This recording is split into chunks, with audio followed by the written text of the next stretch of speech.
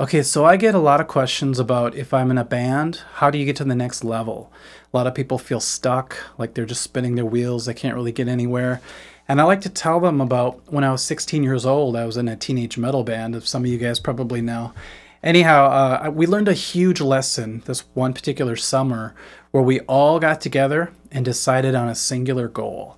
So I think that's a huge first thing is to make sure you're all on the same page when it comes to your band, that you all want the same results.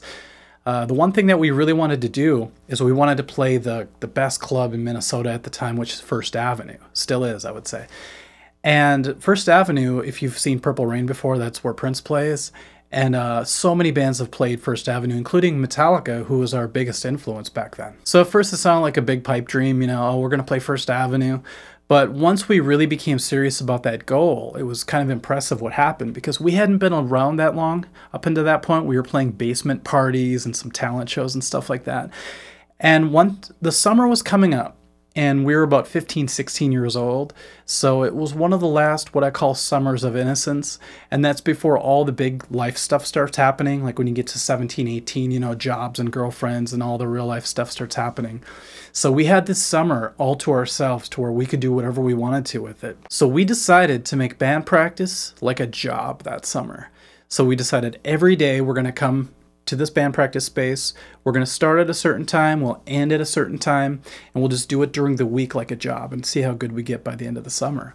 And it was the perfect storm. You know, I had just gotten my license and I was able to drive my friends to band practice.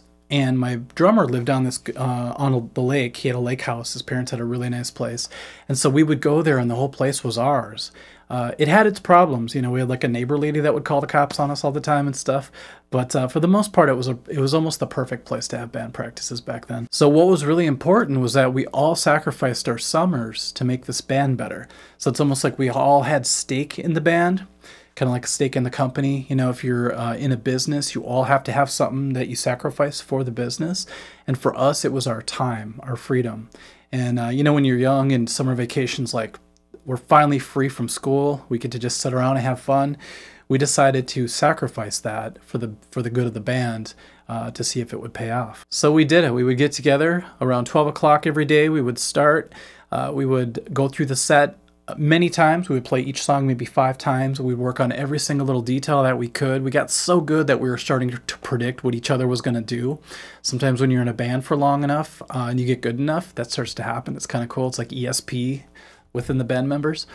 And we would get done around five o'clock when his parents would get home. Now, that first month was kind of a test for us because it feels like whenever you start on a very ambitious goal, it seems like life will sometimes test you a little bit.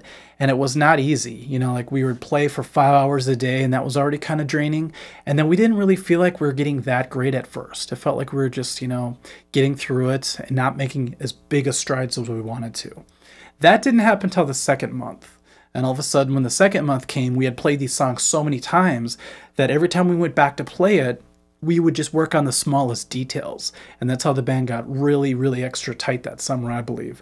The details started to uh, get tightened up and everything started to flow. And one of the best feelings back then was that we finally had control over ourselves. Up until then, you know, everyone's telling you what to do, parents and teachers are telling you what to do with your time. And so this was a great getaway from all that finally for all of us. Here are four guys in a room playing music together and we were making decisions and it felt like we finally had control of something. It actually felt really good. And so we all learned sort of uh, take on a role for the band that we could help. So we all kind of delegated almost by ourselves. It's like, well, I'll try to, you know, make the logo if you do this and you do this. And it became sort of like a small business, which is great. Sometimes you see a band and only one or two people are running the show and everybody else just sort of, you know, follows along. Well, in this case, everyone in the band was pulling their weight and trying to do something for the band. And by the end of the second month, we were actually getting really good. Uh, now that I look back, we were really, really tight and we started to get creative. So we thought, okay, if we're going to play First Avenue, we can't stand in a circle and practice anymore because we don't do that on stage. So we started to line up all facing the same way. One time we went outside and three of us went up on his upper deck and played, and our drummer was downstairs uh, below on the bottom deck and we tried to put on a fake concert. That lasted about three songs and then the neighbor across the lake called the cops. I guess they could hear it all the way across the lake and they shut us down. But I thought that was kind of cool that we had like the uh, the ambition to actually go out and try to do that, to create our own concert, to make our own situation, to see if we were actually ready to play out. And if you've ever seen Field of Dreams, I kind of ascribe to the philosophy of build it and they will come. And we didn't really know it back then, but we were actually building something. Uh, we thought we were just playing music and getting tight, but we were building a band. We were building this entity. And because we did that, I believe life kind of rewards you if you get through the challenges that it puts up in front of you right away. And all of a sudden, things started coming to us. It was really strange. Like people started knocking on our doors, and it wasn't just the cop to shut us down.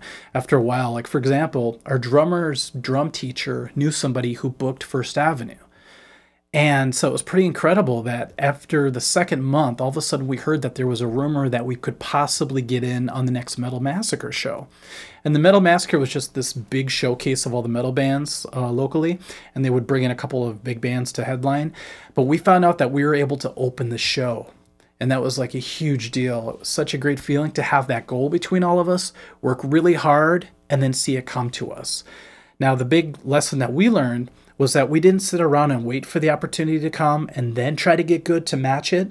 We got good beforehand and then it came to us. So that seems to be a problem that uh, a lot of people have is that they sit around and wait for something to come before they really put in the effort.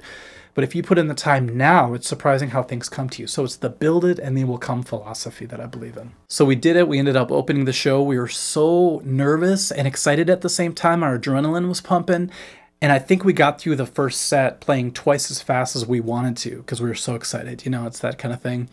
But what was great, things went wrong. You know, our bass player's speaker cable melted. I think it was leaning against his tube and it just halfway through a song went out. But um, it was kind of cool to see we fixed it. We still got through it. So we had to power through that. So we met our goal, which was incredible to see the result of all our hard work. But one of the best things was even after we reached our goal, we didn't just sit around and say, well, that was that. We did it. See you later. Instead, we took a few days off to let it soak in, and then school started up again. And we went back to practicing because after we were able to do that, we kind of thought, well, what is there that we can't do? You know, so we had this wide open feeling of everything's anything's possible. So we kept at it, which I was really proud of the band for because it's really easy just to lay down and sort of rest on your laurels after you accomplish a big goal, but we wanted to keep it going. It was exciting. So I'm really hoping that my story can inspire you, whether you're in a band or not. You could do this by yourself as well if you have individual goals, or even if your goal is just to get into a band. Uh, use some of those principles and you'll see that they work for you as well.